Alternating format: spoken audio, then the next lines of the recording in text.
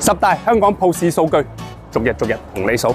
第三，香港人咧北上冇限制，但大陸人南下香港咧就關卡重重。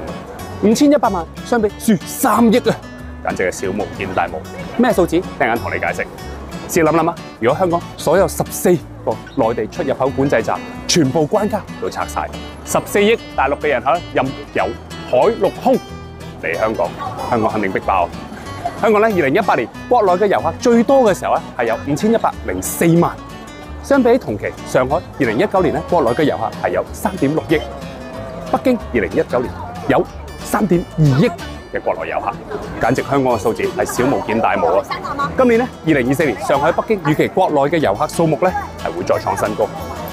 咁香港吸引遊客嘅能力又係咪咁差咧？睇翻國際遊客嘅數字，原來香港係吸引力係遠高於上海同埋北京喎。二零一九年啦，上海係接待咗九百萬國外入境嘅旅客，北京咧只係接待咗三百七十五萬。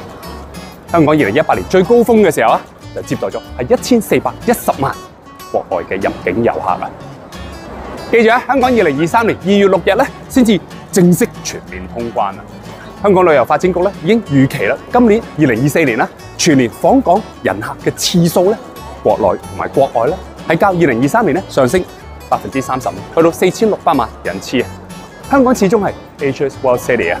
香港有我哋嘅独特性嘅，只要香港同埋国家进一步嘅融合，香港嘅游客要过亿，一啲都唔难。